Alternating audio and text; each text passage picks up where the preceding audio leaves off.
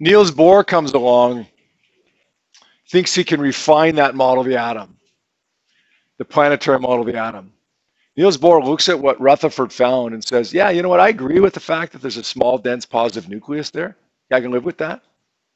The fact that uh, most of the atom is empty space, sure, I can live with that too. Electrons orbit around the nucleus, yeah. So what makes the Bohr model of the atom different from the planetary model of the atom? If all of those observations and that uh, Rutherford made, Bohr accepts. Yep. The electrons, you mean? Yeah. Good. Well, yeah, you know what, actually? Almost the opposite, actually. But you're on the right track for sure. Um, the electrons can't just go anywhere they want. Rutherford said the electrons just orbit around the nucleus in a circle, wherever they want.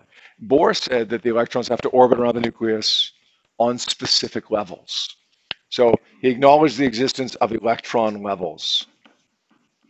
If you've taken chemistry, you know that electrons can exist on the first level, the second level, whatever. There's two electrons, max two on the first level. I think it's max eight on the second level, and so on and so on. You don't need to remember those numbers. I don't remember those numbers past the second or third one. Don't worry about that. You, you just have to know that they're on electron, they're on their own level, and each level is characterized by a specific energy. So the energy of the electron on the first level is different than the energy of the electron on the third level.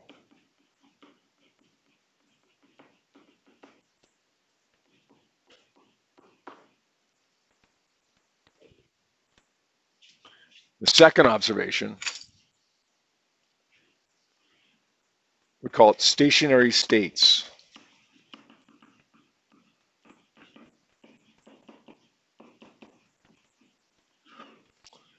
Electrons, as they orbit around the nucleus, watch my keys as they swing around my head here. Electrons, as they orbit around the nucleus, go in a circle. Whether they're on levels or not, they go in a circle. As they go in a circle, they experience a centripetal acceleration. According to Maxwell, a centripetal acceleration or any acceleration of a charged particle should generate EMR.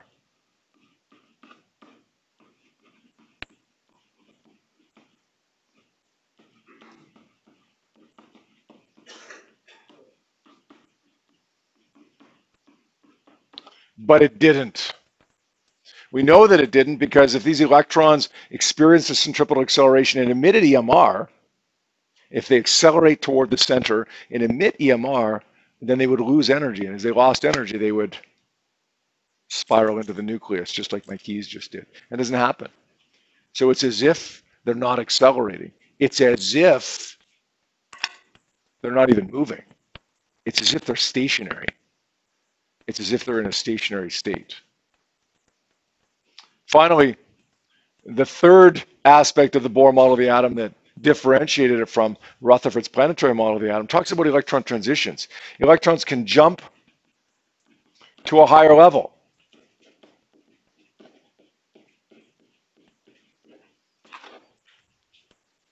You go to the Saddledome for a hockey game, and your seats are up there at the row 20 of the Sport Chek zone you got to go up to a higher level.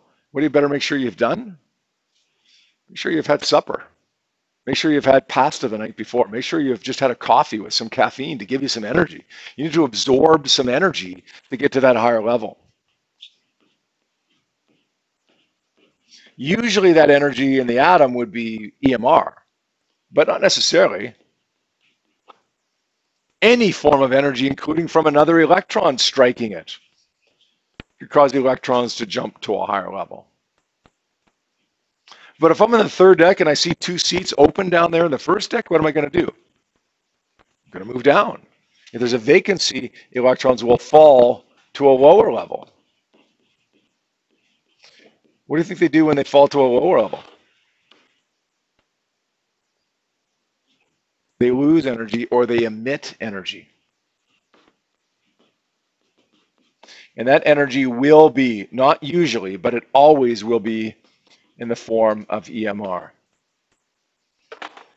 First day of our last unit, we talked about how different types of EMR were produced. Remember, infrared, visible light, ultraviolet were all produced by transitions of electrons in the atom from higher to lower levels. Here we go. This is going to describe for us um, in a little bit more detail what's happening with these electron transitions, that third aspect of the Bohr model of the atom. What I'd like you to do right now is draw a line between the first diagram and the second diagram. That first diagram is going to represent a reference diagram for us. It doesn't really have anything to do with the Bohr model of the atom per se. We're just going to use it to reference the last two diagrams, which do have something to do with the Bohr model of the atom and electron transitions. We're going to number this one diagram number one, diagram number two, and diagram number three. Let's describe our reference diagram first, or our non-Bohr diagram first.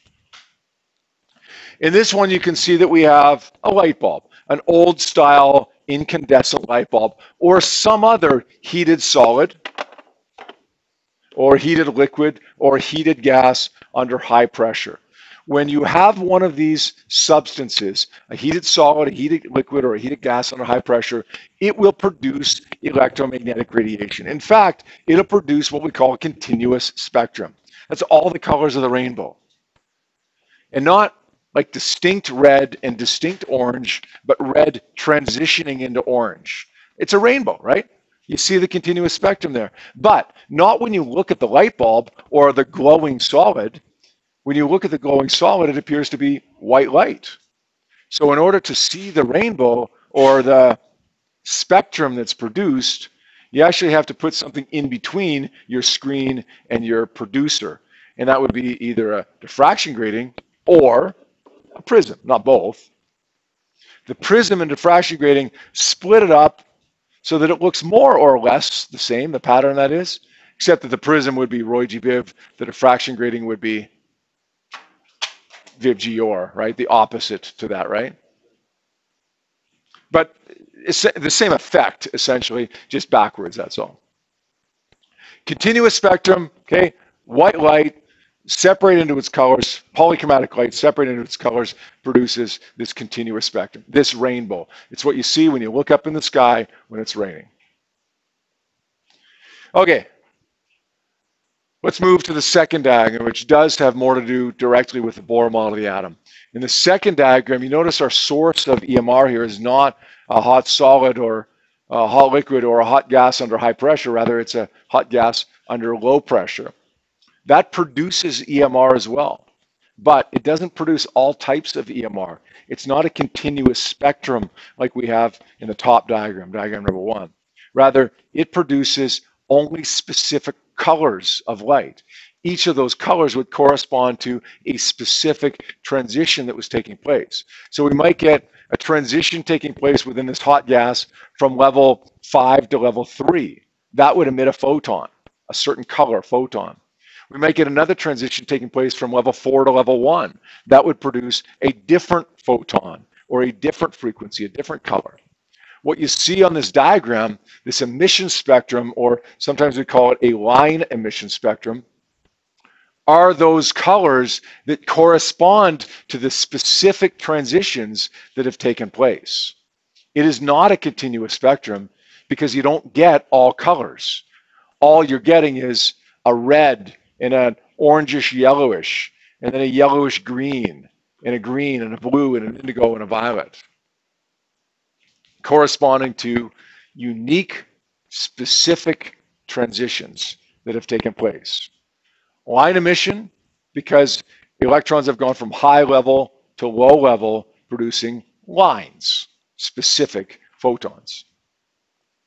Okay, now let's fast forward to the last diagram, the third one, where we have pretty much the same thing as the first diagram. In fact, if we scratch out that cold gas, we have exactly the same thing as the first diagram.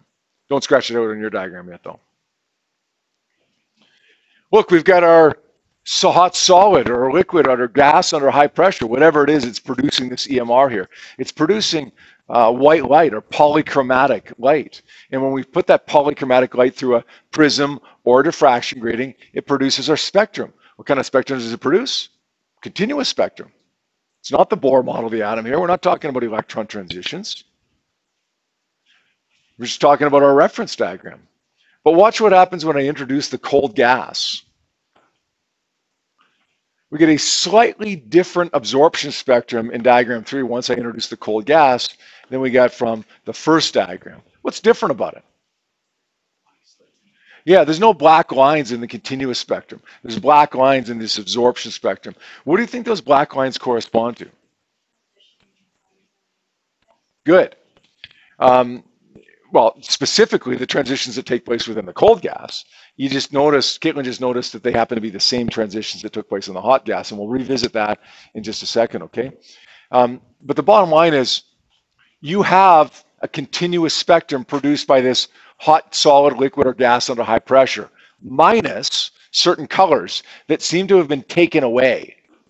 Right? There's all this light minus colors that have been taken away. What were they taken away by?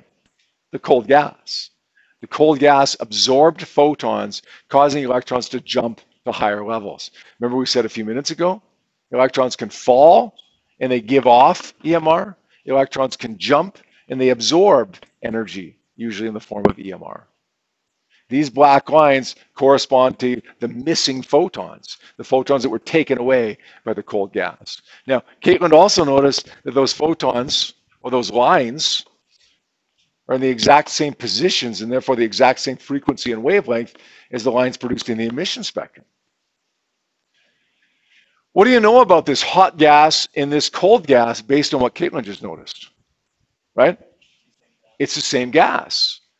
Every element or compound produces a unique spectrum. So everyone is going to be different.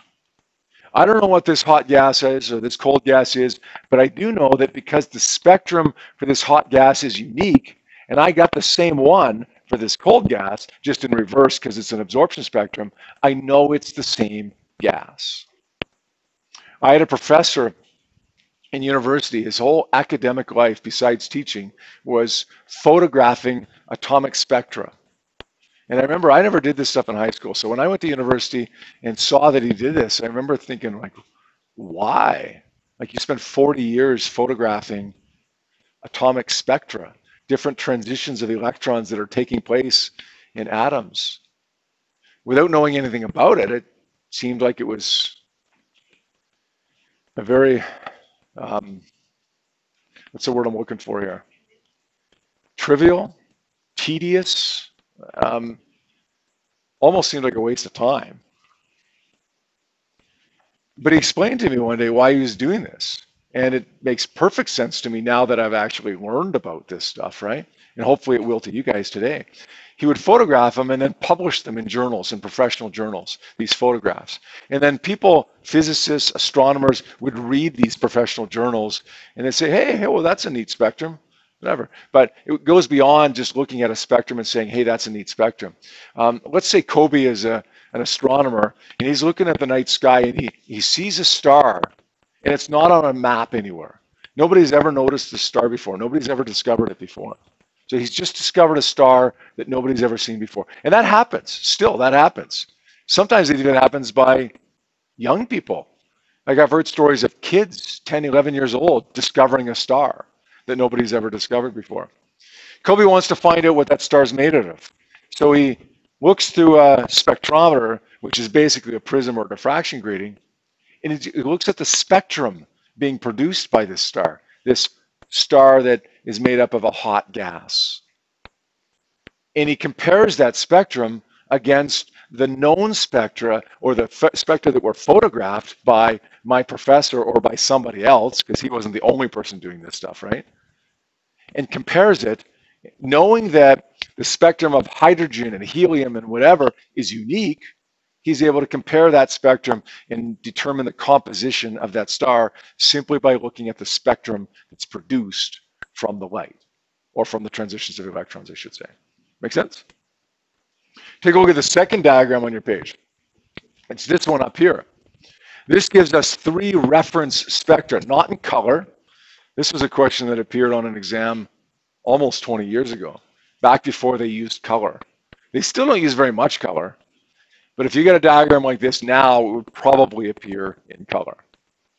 You can see that you have multiple lines in, in hydrogen and in helium and in sodium as well, each corresponding to a different transition of an electron from a high level to a low level in that atom. These are photographed by my professor or by somebody else that does the same kind of work. But then Kobe looks at the star and sees an unknown gas mixture spectrum. Doesn't know what's in it. So he wants to determine what's in it. He opens up the little atlas of atomic spectra, pictures, and he looks at the pictures and he says, oh, wait a second. Every single line of hydrogen, every single line of the hydrogen spectrum is in this unknown gas mixture. Therefore, this star must be made at least partially of hydrogen. He's just determined the partial composition of this star. Is there anything else in the unknown gas mixture? We know there's something else, right? Because we've we've accounted for this line and this line and this line and this line. That's from the hydrogen gas spectrum. Let's just check helium for a second, okay? I know that Nick said it's sodium, but let's just double check helium here. Helium has this one, this one, this one, this one, this one. Um, this one's there, right there, corresponds to one of the ones from hydrogen. But none of the rest of them are there. So is, hydrogen, is helium there? No. We know there's hydrogen, but we know there's not helium. Let's keep going. Sodium. There's only two lines in the visible spectrum for sodium. Are they in the unknown gas mixture? Yep. So what does that tell us about the composition of the unknown gas mixture? It's hydrogen and sodium. Make sense?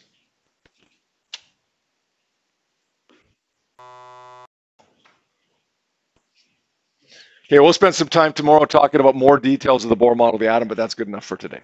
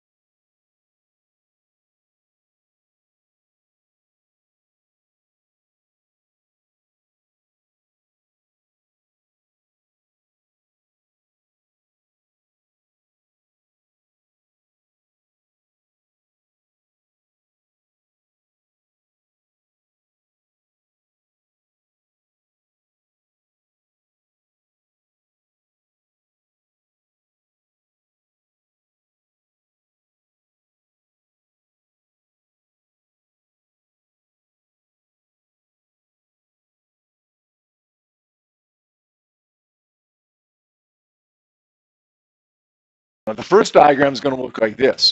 That has two diagrams on